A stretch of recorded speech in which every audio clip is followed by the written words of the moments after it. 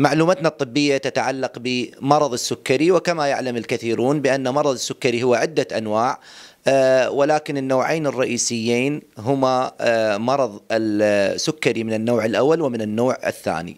معظم مرضى السكري من النوع الأول وكذلك بعض مرضى السكري من النوع الثاني يأخذون الإنسولين كعلاج أساسي لمرضهم لذلك ضروري جدا ان أن آه، نتعلم أو نعي كيفية التعامل مع هذه المادة البروتينية التي تتأثر كثيرا بالحرارة الشديدة والبروده الشديدة.